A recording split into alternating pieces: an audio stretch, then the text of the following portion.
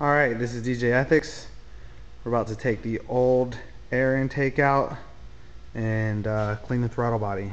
First thing you want to do is take out three screws, one here, one right there, and mine's gone, but there's one down in there. So uh, the next thing we're going to do, it's already unhooked here, but the uh, sensor, you got to pop this little gray thing out and then slide it out, loosen up this bolt, pull that off of there.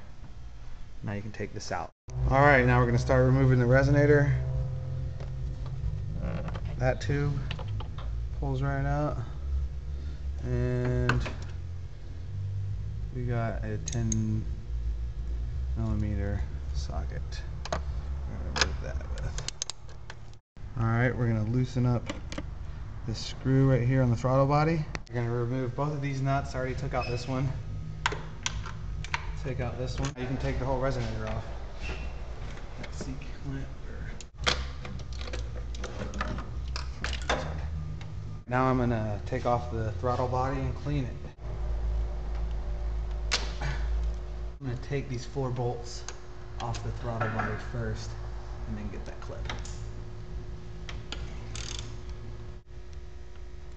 That clip in there pops down and then it slid right off.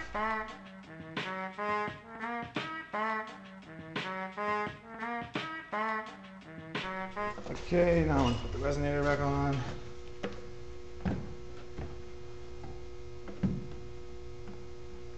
When you put the resonator on, make sure that that tube lines up with that hole. Okay, now I'm gonna put these two bolts back in the side of the resonator. Make sure you put the ones with the washer on the side and not on the throttle body. They're the same size, but the ones on the side of the resonator have a washer like this. Alright, get these down tight. And then clip this. Alright, the Volant intake tube, I already got the rubber grommet attached with the small end toward the resonator and the uh, two clamps. Let me go ahead and put it in. You kind of gotta slide it over, pull it out a little bit and slide it over and then tighten it down. Okay, the filter was kind of hard to get on there. Ended up having to put my chest, pull it up a little bit, put my chest on it right here and push it on and then kind of wiggle this part here to get it all adjusted in there right, but it's in there now. I'm gonna go ahead and tighten those this down. Cover just sits down in there on top of the filter and the water tank. Just line those four or three holes up.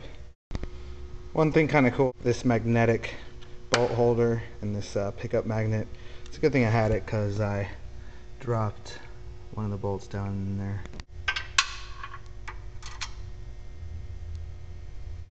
Another thing this thing's rad for is this one in the corner down here. It's really hard to get to. Everything, the washer, nut, magnets to it. You just stick it down in there, get it started. Alright, that's it, Volant intake.